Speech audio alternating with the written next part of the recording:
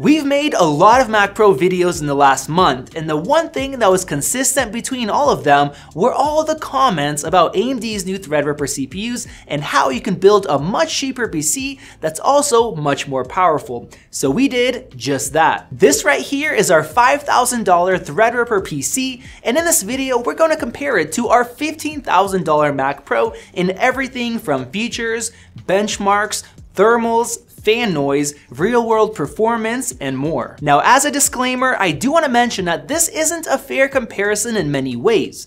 One big one being that the Mac Pro uses macOS, which is important for a lot of people, and at this point you can't even Hackintosh this Threadripper. There are also a few ways that the Mac Pro absolutely kills this PC build, and we'll mention all of these important factors at the end of this video. When choosing the parts for this Threadripper PC, I wanted to make sure to match as much specs as possible, which required an $850 motherboard that comes jam-packed with features. So before we get into the performance testing, here's how the features of this PC compare to the Mac Pro. It comes with Wi-Fi 6 built in compared to Apple's Wi-Fi 5, it comes with PCI Express Express 4 compared to 3 on the Mac, and just like the Mac Pro, it comes with dual 10 gigabit Ethernet, and it also supports ECC RAM, although we didn't use it for this build.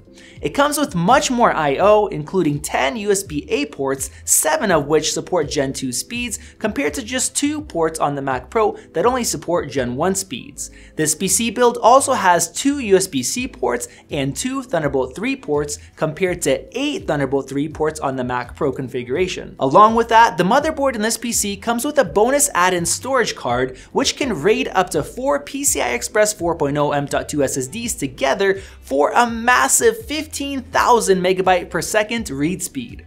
You can also easily add in a ton of different storage like hard drives, which isn't always easy or cheap on the Mac Pro. And the best feature of all is that this PC build can power Apple's 6K Pro XDR display in 10-bit at 6K resolution. We'll show you how we did that in just a minute. Here's a list of all of the parts we use for this PC build compared to the parts that are in the Mac Pro, and we have links down in the video description as well. Now, if you want to know why we chose these specific parts, we discuss them in our step-by-step -step build guide that you guys can watch after this video to learn how you yourself can build this PC. One of the major annoyances we ran into with the Mac Pro is that Apple controls all of the driver updates for the graphics cards, forcing users to wait until they update macOS. But with Windows, part manufacturers can update their drivers on their own schedule, so you get updates much more often. Now getting into performance, we wanted to point out a massive advantage for the PC, and that's the ability to overclock, which you can't do on the Mac Pro. This setup is capable of overclocking up to 4.25 GHz, but it draws an extra 180 watts of power and puts out way more heat and fan noise for only 8% more performance, so we went back to stock for this comparison. So without further ado, let's start out with performance testing with Geekbench 5 CPU test. Unsurprisingly, this 32-core Threadripper CPU scored over two times the multi-core performance of our 12-core Mac Pro, but be sure to keep in mind that it only costs 42% more while getting over double the performance, which is an awesome bang for the buck. Now we don't usually mention single core performance, but it shocked us that this PC got a higher single core score even though it has 20 more cores, which usually never happens, so ultimately, you're not sacrificing performance for tasks that only use one core. One benefit for the 12-core Xeon is that it supports up to 768GB of RAM compared to only 256 on the Threadripper CPU, but to be honest, not that many people actually need that much RAM. Now moving on to Cinebench R20, which pushes all of these cores to their max, the Threadripper performs even better, scoring 17,000 254 points compared to only 5,519 on the Mac Pro. However, it came at a cost of fan noise, even though this case is the Dark Base Pro 900 from Be Quiet, which is filled with sound dampening materials and very quiet fans. The ambient noise in the middle of our office stays at around 37 to 38 decibels loud.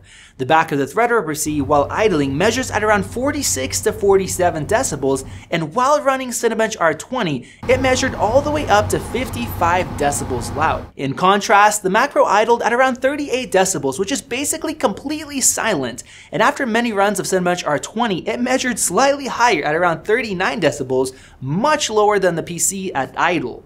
And the most annoying thing about this PC is that the fans kick up pretty loud every time you open up a new app or change settings, even sometimes in the web browser, just because of how much wattage it pushes to the CPU. And even with this much performance, we notice that macOS is still much snappier than Windows while doing basic tasks and doing things like installing programs and unzipping files, which is why a lot of people prefer Macs. For example, we had apps freeze multiple times on this PC just in the time that we were doing this test, and absolutely zero freezes or issues with the Mac Pro running Mac OS. In terms of temps, while running Cinebench R20, the Mac Pro got up to 69 degrees, while the Threadripper PC reached a high of 79 degrees, which is still very impressive thanks to the massive water cooling system, but it did have to run at full blast to keep it at 79 degrees. Now moving on to graphics benchmarks, we tested Geekbench 5 using Metal on the Mac Pro and CUDA on the PC, which is the best case scenario for both systems. Here, the PC scored over 50% higher than the Mac Pro, which is impressive considering the fact that you can get it for around 1250 compared to paying Apple $2,400 for the Vega 2 upgrade. So with that, we decided to test out gaming performance using the Unigine Heaven benchmark on the Extreme preset, and the PC got 210 frames per second compared to 114 on the Mac Pro. And even with that much FPS, the 2080 Ti graphics card in the PC stayed at a cool 70 degrees thanks to its triple slot cooler. The Mac Pro's Vega 2 GPU ran at 81 degrees, but the difference was that it stayed completely silent throughout the test. In fact, even when we maxed out the CPU and the GPU at the same time by running Cinebench R20 and Unigine Heaven simultaneously, it remained basically silent, which is incredibly impressive. We also tested graphics card rendering in the Blender benchmark, and the Threadripper PC finished the BMW M Classroom test in only 3 minutes and 8 seconds, compared to 15 minutes and 54 seconds on the Mac Pro. But that was in macOS where graphics rendering is new for Blender and it seems to not be optimized as a weaker AMD GPU was much faster under Windows. Since this PC's motherboard supports PCI Express 4, we took advantage of it with a super fast 1TB M.2 SSD, which got read speeds to a massive 4,995 megabytes per second compared to 2992 on the Mac Pro.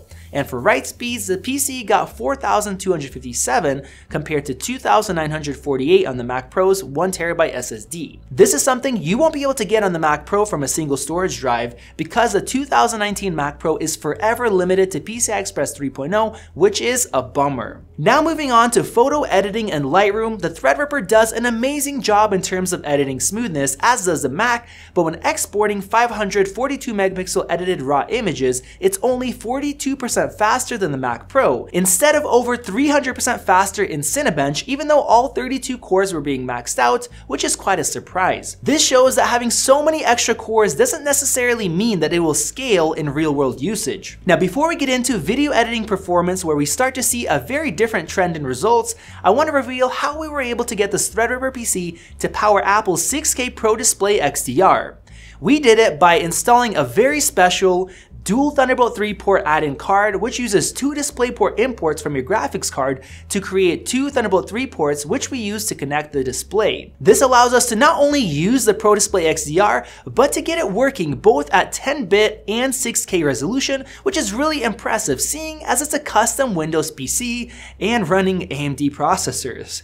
Now finally, let's get into video editing where we start with Premiere Pro because it's by far the most used program. The PC does a good job putting the Threadripper and NVIDIA GPU to use, but so does the Mac Pro with Metal.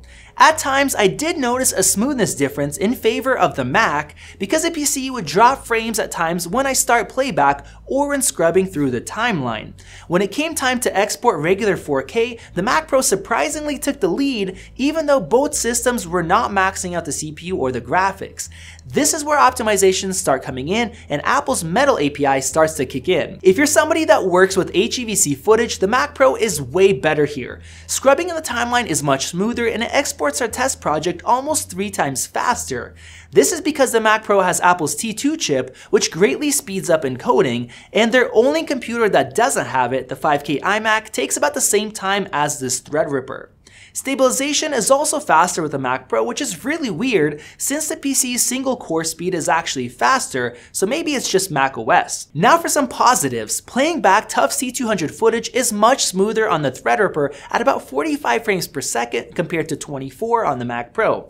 This is because Premiere isn't optimized and doesn't use graphics like Final Cut or Resolve, so the extra 20 cores comes in pretty handy. Exporting this graded 4K 60 project is more than twice as fast with the PC because it is all CPU based, so if you work with this footage in Premiere Pro, you want as much cores as you can possibly get your hands on. Now let's touch on Resolve, which is much more optimized in general and makes way more use of the graphics than CPU cores.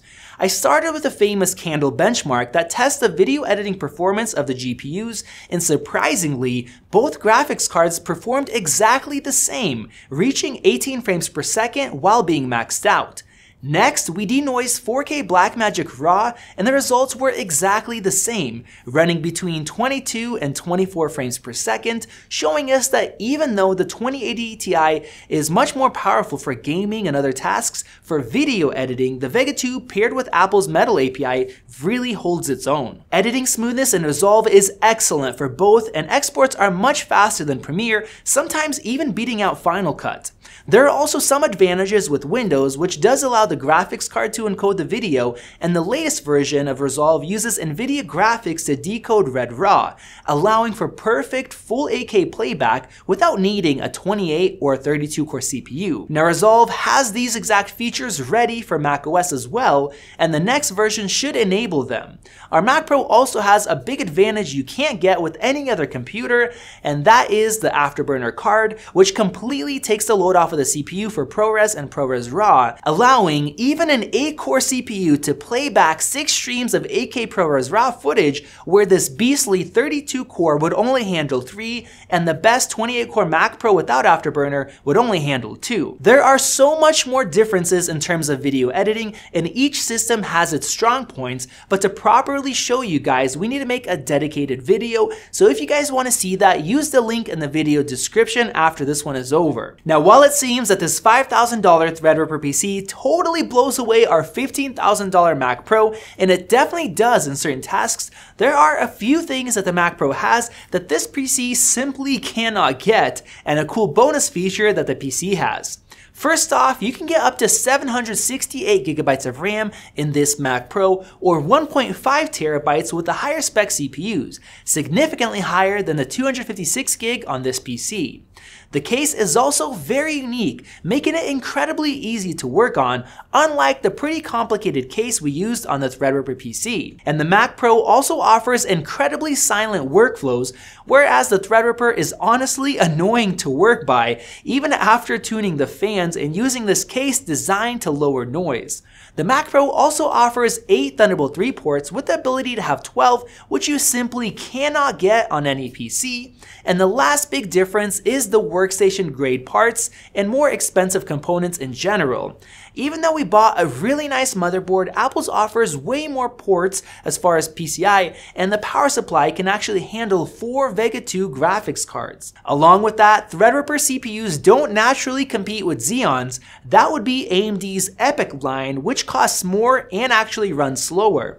On top of that, the Vega 2 graphics is also a workstation grade card and gets 32 gigabytes of ultra-fast HBM2 memory compared to only 11 on the 2080 Ti, which will help a lot in tasks that use a lot of VRAM. To be comparable, we would need at least a Quadro RTX 6000, which by itself would nearly double our build price while still being short 6 gigs of memory, and the memory is 30% slower than HBM2 but not everybody needs those things for their work. Along with that, the Mac Pro comes completely ready to go out of the box. You just plug it in and you're off. Whereas with the Threadripper build, it took us a while to find all the parts, make sure everything's compatible, get it in. Uh, it took us a full day to get it built and set up and optimized. And for some people, if you have issues or you're not good at it, it might take you a couple of days. And those couple of, couple of days could be worth thousands of dollars if you are a professional. So there definitely is is value in having a system that is just ready to go. Now, not everybody needs these things I just mentioned, and in those cases, you can get much more bang for the buck and more upgradability with the Windows Threadripper PC. And our Threadripper has one other advantage, built-in wireless charging on the top of the case. So there you guys have it. That was our $5,000 Threadripper PC compared to our $15,000 Mac Pro. If you want to see a detailed video editing comparison, follow the link in the description. And if you want to see how we built it, check out that video right there for our step-by-step -step guide and click the circle above to subscribe if you haven't already. Thanks for watching and I'll see you in the next video.